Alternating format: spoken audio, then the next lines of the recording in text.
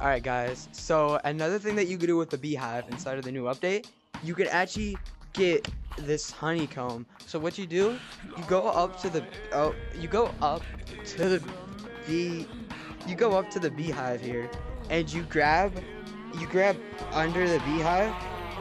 And look it, you go outside the bees go after you but look you get this honeycomb on your wrist and you can just start eating it up.